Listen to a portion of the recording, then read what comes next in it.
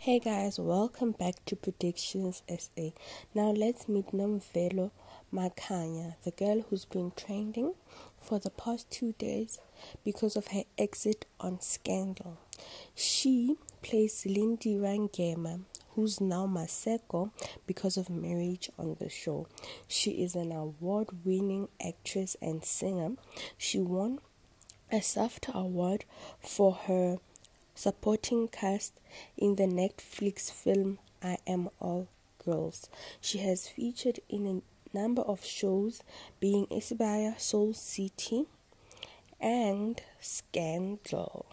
Now, she was born on the 26th of April 1996 and she is a South African. She's an influencer, a singer, and an actress.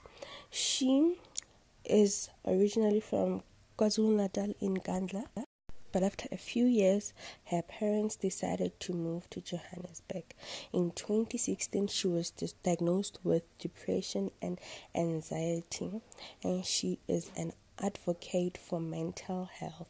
She was dragged on social media because of her hair, but she had to overcome that and come back a stronger person. She joined the National School of Arts in Braamfontein under the guidance of her mother and has also performed in the musical Sarafina. Her exit on Scandal was quite emotional as she lost her life after giving birth. She says that after 9 to 10 years of being with Scandal, she is leaving for greener pastures and we must just watch the space. Now, thank you for watching. Please like, share, comment, make the post to happen. Road to 2000. I love you. Bye.